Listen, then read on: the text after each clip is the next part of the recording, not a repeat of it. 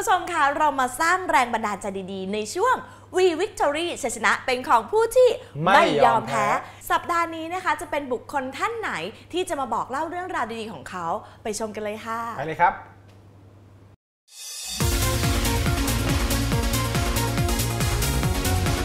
We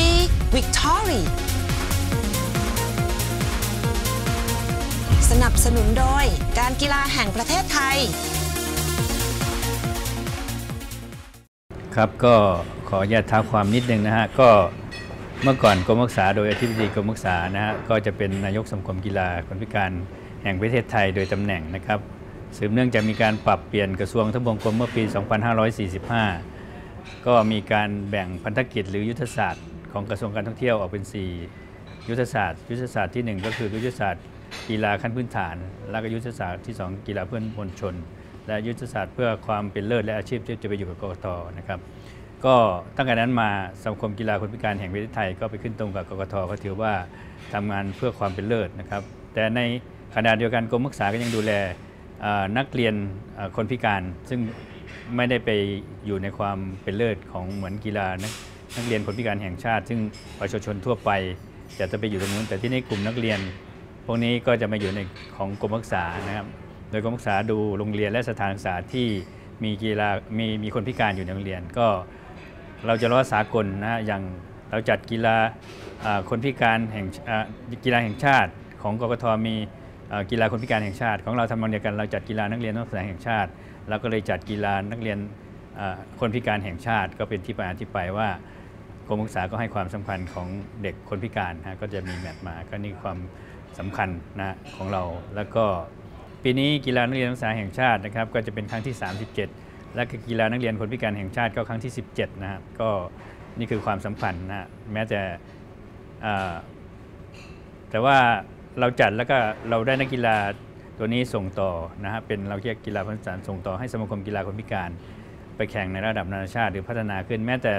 ของกรมเองก็นักกีฬากลุ่มนี้นะครับก็ถูกคัดเลือกไปแข่งเขาเรียกเยาวชน ชิงแชมป์โลก หรือไอวัตเวิลด์เกมนะซึ่งทางท่านผอวัชนีก็คุมไปได้เหรียญทองมาเยอะแยะ แล้วก็ทาง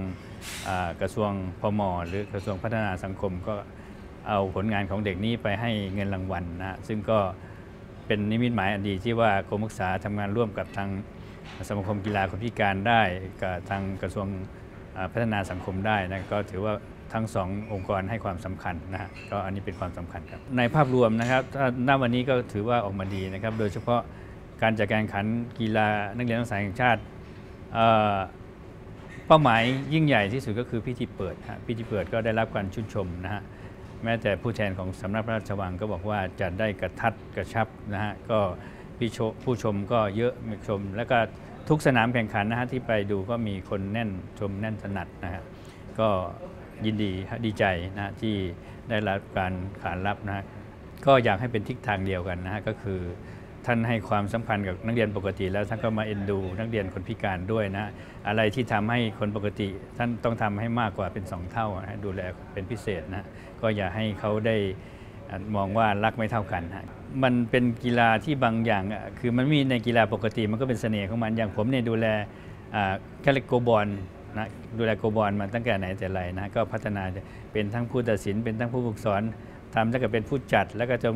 ตอนหลังที่บ้านเราเป็น FESPIC Games ครั้งที่7อะผมก็เป็นทั้งผู้ฝึกสอนโกลบอลนะฮะก็เป็นเสน่ห์เพราะว่ากีฬาคนพิการบางชนิดประชาชนทั่วไปอาจจะไม่เคยเห็นอย่างบ็อกเชียร์เนี่ยถ้าไม่มีในเอ่ออาเซียนพาราเกม หรือเอเชียนพาราเกม หรือพาราลิมปิกเกมก็ไม่รู้ว่าบ็อกเชียร์เล่นยังไง นี่คือเสน่ห์ของกีฬาคนพิการครับ ฝากเรียนเชิญนะฮะพี่ๆน้องๆนะในจังหวัดนครศรีธรรมราชหรือจังหวัดใกล้เคียงนะมาช่วยให้กำลังใจชมและเชียร์นักกีฬานักเรียนคนพิการนะ ปีนี้ได้ข่าวว่าปีที่แล้วที่เชียงรายก็ 60 โรงเรียนนะฮะมาร่วมการแข่งขันนะนักกีฬาประมาณ 2,500 กว่าคน เจ้าหน้าที่ก็ประมาณ 600 คนก็ประมาณ 3,000 คนนะก็เชิญชวนมาให้กำลังใจมาชมมาเชียร์นะครับ ก็ในเรื่องของอการที่เราได้จัดให้เขาเนี่ยเนื่องจากว่าในในในงานคนพิการเนี่ยอตอนนี้มีโรงเรียนที่เป็นนักเรียนคนพิการเนี่ยเพิ่มขึ้นมาก แล้วก็ในส่วนของออนักกีฬาก็เพิ่มจำนวนขึ้นมาก เนื่องจากว่าเกิดอุบัติเหตุบ้างอะไรบ้าง จากที่ไม่เป็นมาแต่กำเนิดก็มี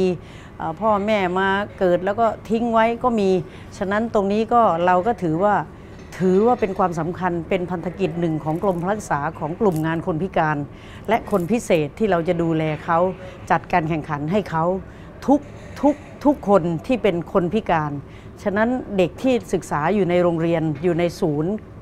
การศึกษาพิเศษมีสิทธิที่จะส่งเข้ามาแข่งขันได้ทั้งสิ้น ก็ในแต่ละปีก็ดูจากนักกีฬาที่เพิ่มมากขึ้น ขณะนี้เนี่ยเราเปิดรับสมัครมาตั้งแต่เมื่อวันที่ 1 1ธันวา ขณะนี้สรุปณเมื่อวานก็ได้ 2,500 กว่าคน 2,584 คนอ่าเรายังมีเปิดรับสมัครถึงวันที่ 3 กุมภา ฉะนั้นคิดว่าปีนี้น่าจะเกินเป้าที่ที่เราตั้งไว้ แต่ว่าเรารับได้ เพราะว่าในปีนี้เราปรับงบประมาณเพิ่มขึ้นให้กับทางจังหวัดเชียงราย จากเชียงรายเราให้4ล้าน5ที่นี่เราให้ 5 ล้าน เนื่องจากว่าภาวะเศรษฐกิจแล้วก็ดูแล้วจากเศรษฐกิจที่จังหวัดนครศรีธรรมราชเนี่ยรู้สึกว่าน่าจะสูงกว่าทางจังหวัดอื่นๆ แล้วก็เลยปรับเป็น 5 ล้านให้กับทางเขาเพื่อจะเป็นที่พักที่พิธีเปิดปิดในในในตรง 5 ล้านนี้นะคะ แล้วก็ในเรื่องของเจ้าหน้าที่เทคนิคต่างๆ ฝ่ายจัดการแข่งขันที่นี่ค่ะ โรงเรียนตอนนี้ก็เพิ่มมาจากปีที่แล้ว 6 ปีนี้ได้ตอนนี้ยณสรุป 29 ได้ 65 แล้ว ได้ 65 โรงแล้ว แล้วก็จากความพิการ 5 ความพิการที่เราจัดแข่งขันให้เขาก็คือ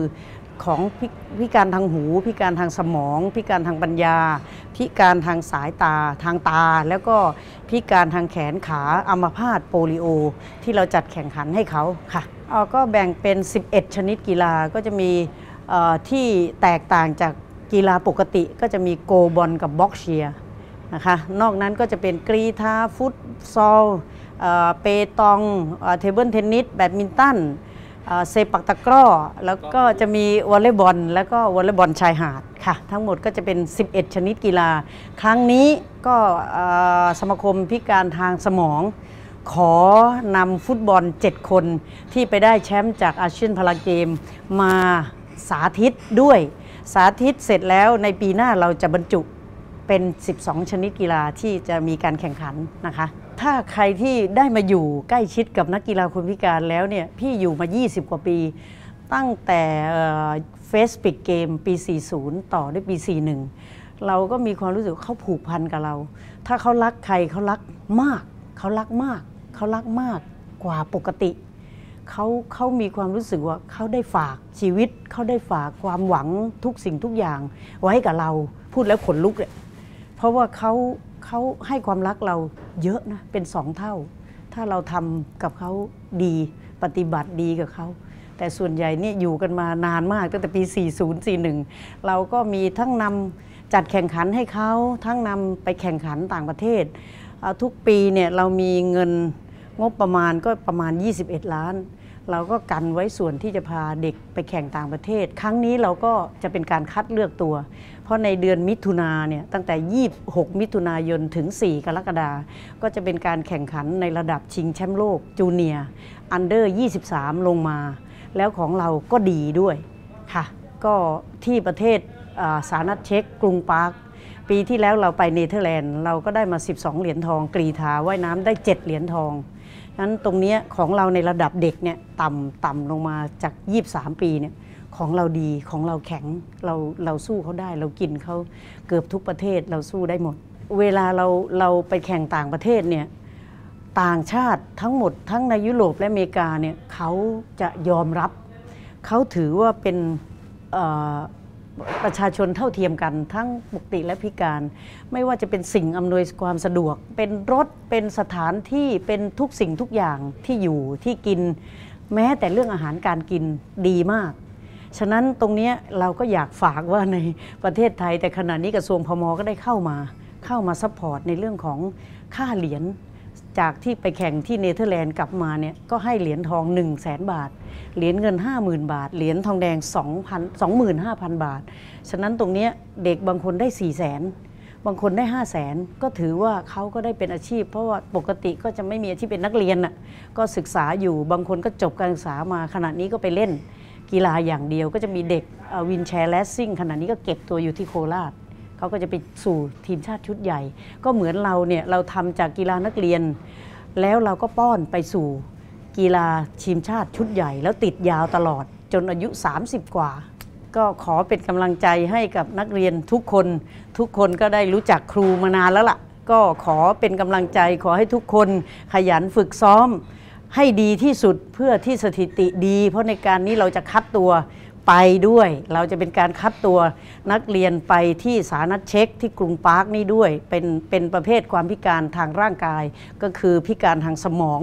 ที่มีความพิการทางสมอง แล้วก็แขนขาอัมาพาตโปลิโอ ก็จะมีวินแชร์แลสซิ่งด้วย วินแชร์แลสซิ่งนี่เป็นเป็นเป็นเป็นทีมที่เราไปแล้วเราได้เหรียญมาก